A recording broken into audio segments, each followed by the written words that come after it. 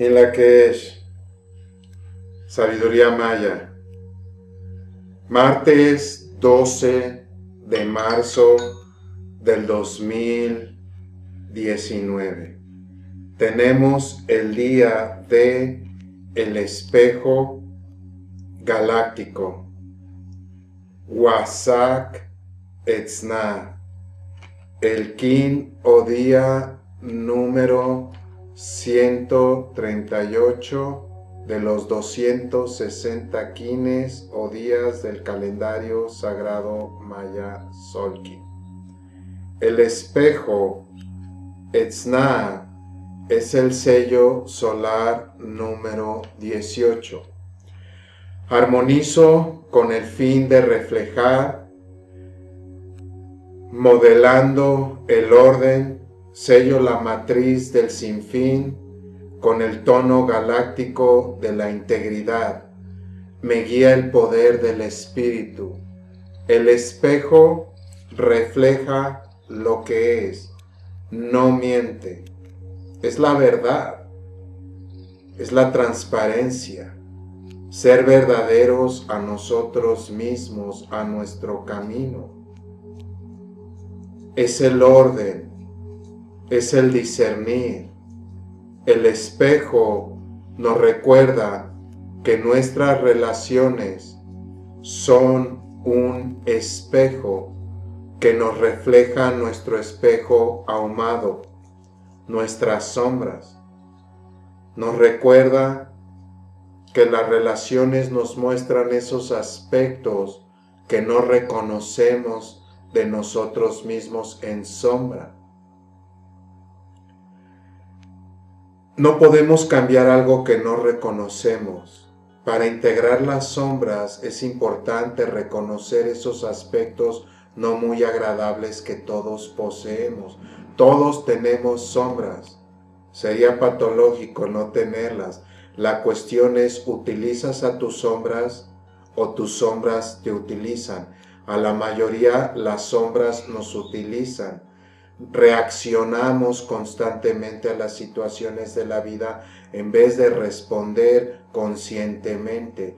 El espejo es el orden, cerrar ciclos, un excelente día para cerrar ciclos, dar gracias por la experiencia, por el tiempo compartido y seguir nuestro camino. Cuando una puerta se cierra, se abren tres, pero la mayoría estamos tan ocupados con esa puerta que no nos damos cuenta todas las posibilidades. Evitar crear juicios de los demás en sombra. Podemos sentir que nuestra manera es la única manera y estar creando juicios constantemente de que si es bueno o que si es malo. El tono número 8, numerología maya, la barra y los tres puntos, galáctico, wasak, es el tono de la integridad Estamos en el peldaño 8 en esta onda encantada. En esta onda encantada con el tono 8 integramos para alcanzar el propósito que nos marca el mono estos 13 días a partir del 5 de marzo hasta el 17 de marzo que es el reír, jugar, no tomarnos ciertas situaciones de la vida tan en serio.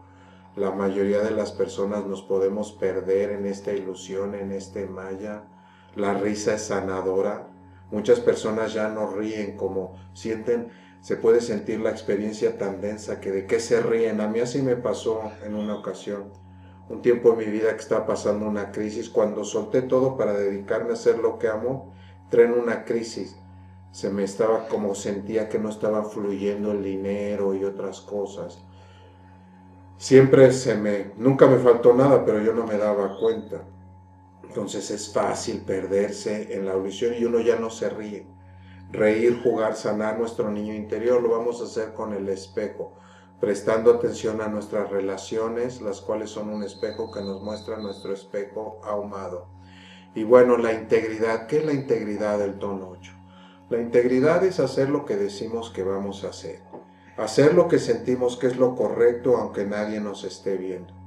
La mayoría hacemos lo que, lo que sentimos que es correcto si nos están viendo por el ego, pero si no nos ven, hacemos, o sea, demostramos realmente quiénes somos, tenemos como una doble vida, la que mostramos al público y la que realmente tenemos. Nos guía el viento galáctico Wasaki. El viento es el sello solar maya número 2, aquí lo tenemos. Ik, el viento nos recuerda, es el aliento divino, es el espíritu, se relaciona a la dualidad y nos recuerda prestar atención a nuestra comunicación. Hay muchas maneras de comunicar a nuestras palabras. Cuando mejoramos nuestra comunicación, pensamos bien antes de comunicar, realmente mejoramos nuestras relaciones y nuestra vida. El viento nos invita a, recordar que la religión es una cosa y la espiritualidad es otra. La religión la creó el hombre para controlar, se basa en el miedo, y la espiritualidad es nuestra conexión con lo divino sin intermediarios.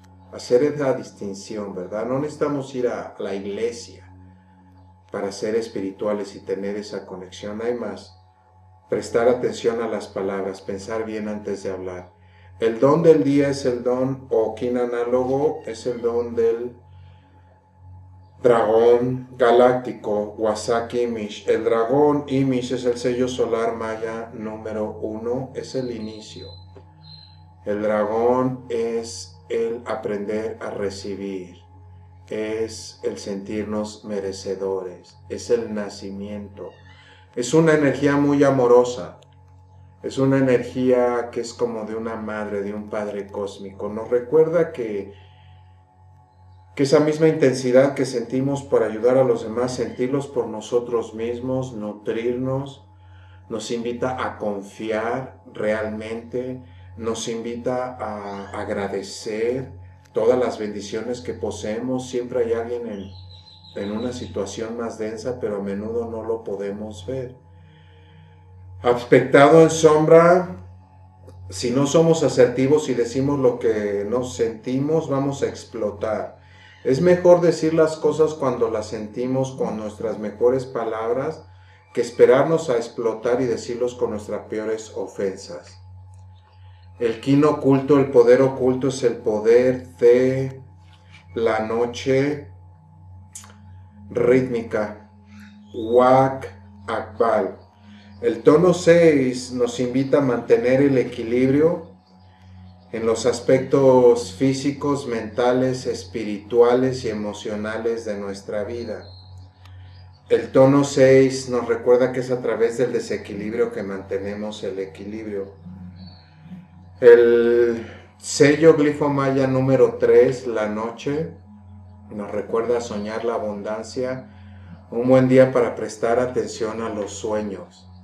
Los sueños son viajes astrales, nos brindan guía, información la mayoría de las personas pues no prestamos atención, se nos hace interesante y sentimos qué locura y eso, pero son muy simbólicos. En la página de Factor Maya hay un área donde dice servicios y una pestaña que dice diccionario Sirlot. Es, puedes descargar gratuitamente un diccionario de simbolismos de los sueños. Por ejemplo, es muy simbólico a veces queremos como entender los sueños como algo lineal, como lo hacemos aquí, como sucesos que pasan uno después de otro y están como conectados como tipo cadena. Los sueños no. Por ejemplo, tú puedes soñar que estás en cierto lugar, pero ves mucha agua y todo eso. Entonces el motivo sería el agua y, y ver en el diccionario qué tiene que ver el agua. Es una manera muy para mí que funciona muy bien para obtener un significado los sueños. Y ese diccionario Sirlot para mí es uno de los mejores. En verdad, lo escribieron hace ya un tiempo y todo y tiene una sabiduría muy linda. La verdadera abundancia no es tener millones de dólares en el banco, es saber que nada nos falta realmente. Por eso agradecer. Les recomiendo mucho practicar oponopono, repetir las frases lo siento, perdón, gracias, te amo, lo siento, perdón, gracias, te amo en situaciones densas, cuando sientes que a lo mejor no está fluyendo el dinero, que te falta y todo eso, te va a ayudar muchísimo. Es una técnica hawaiana y es el poder de, la, de los mantras, es un mantra estarlo repitiendo. El kin antípoda, que es el reto desafío del del día es el reto de la estrella galáctica Wasak Lamat. Y la estrella Lamat es el sello solar maya número 8, aquí la tenemos. La estrella brilla en la oscuridad, en paz y armonía.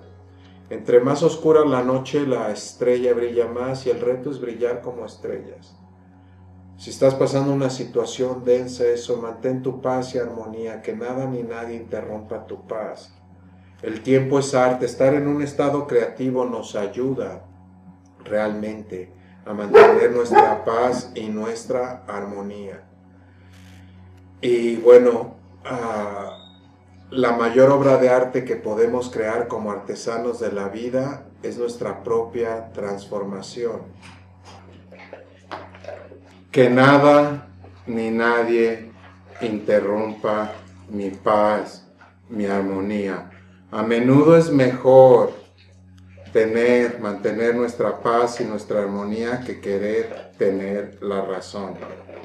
Esto es bien importante. Estamos en el castillo azul oeste del quemar. Es el castillo de la transformación, de los cambios. Estamos en profundos cambios, se puede sentir, aceptar el cambio. La vida es un cambio continuo, lo único constante en la vida es el cambio mismo. Y a menudo podemos sentir que el cambio produce dolor y no es el cambio lo que produce dolor, es la resistencia al cambio. El año de la luna cósmica es un año de purificación emocional, sentir las emociones y no consentirlas. La mayoría de las personas nos cuesta expresar las emociones. Tienes ganas de llorar, hazlo. Yo lo he hecho en numerosas ocasiones. Es una purificación, es una sanación sentimos que el mantenerlo y no llorar es fortaleza y no realmente nos estamos afectando. Perdonar. Realmente sin perdón no hay sanación y el perdón se da el momento que nos damos cuenta que no hay nada que perdonar, solamente hay entendimiento. Y bueno, en la onda encantada del mono, estamos aquí, son 13 días, estamos en este peldaño, aquí comenzó y estos 13 días el mono nos invita a no tomarnos la vida tan en serio realmente, a reír, jugar, sanar. A mí me han pasado cada cosa, en verdad.